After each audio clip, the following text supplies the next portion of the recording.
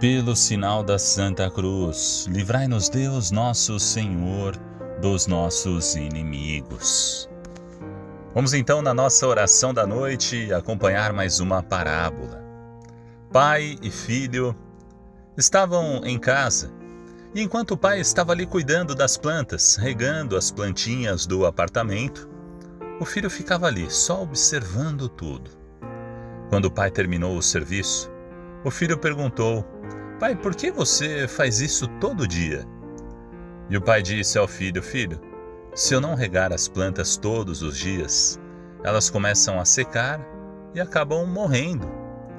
E o pai foi guardar o regador e preparar as coisas para sair para trabalhar e já deixar o seu filho na catequese.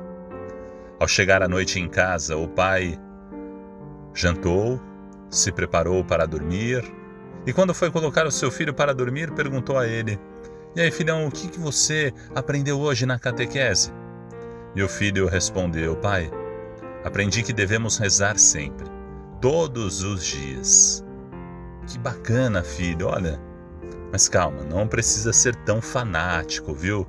A gente não precisa rezar todos os dias. Quando a gente sentir vontade, você fala com Deus. Não precisa criar disso uma regra, senão você vai virar um fanático. E o filho disse ao pai: Pai, quando a catequista me falou sobre rezar todos os dias, eu lembrei de você. Assim como você rega a planta todos os dias para ela não morrer, nós devemos rezar todos os dias para nossa alma não morrer e se afastar de Deus. E aí o pai ouviu aquilo, começou a pensar, refletir, e é verdade. Seu pai começou a rezar todos os dias junto com seu filho. A oração é fundamental na nossa vida. Assim como a água é fundamental para a sobrevivência da planta, se deixarmos de regá-la, ela começa a secar. Assim também a nossa alma tem sede de Deus. Se nós não vivermos em sintonia com Deus através da oração, a nossa alma também começa a secar, a se enfraquecer e vai se envolvendo no erro, no pecado, pelas paixões deste mundo. Nós precisamos estar vigilantes, em constante oração. Deus é a nossa força, precisamos desta água viva todos os dias. E assim como a planta ao regá-la, nós muitas vezes não vemos os frutos de um dia para o outro, o fruto imediato. Na nossa vida também é assim.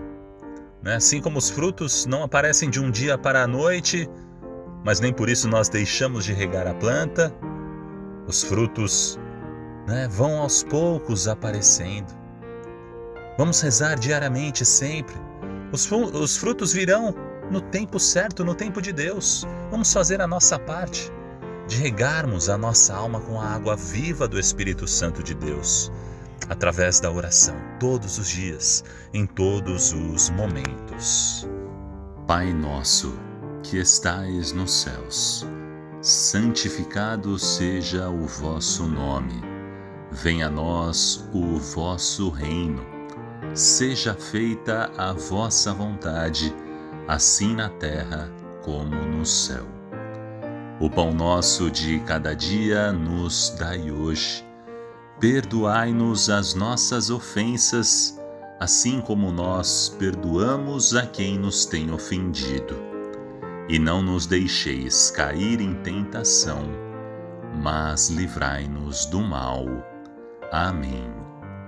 Ave Maria, cheia de graça, o Senhor é convosco. Bendita sois vós entre as mulheres, bendito é o fruto do vosso ventre, Jesus. Santa Maria, Mãe de Deus, rogai por nós, pecadores, agora e na hora da nossa morte. Amém. Glória ao Pai, ao Filho e ao Espírito Santo como era no princípio, agora e sempre. Amém. Santo anjo do Senhor, meu zeloso guardador, se a ti me confiou a piedade divina, sempre me rege, me guarde, me governe, me ilumine. Amém. Em nome do Pai, do Filho e do Espírito Santo. Amém.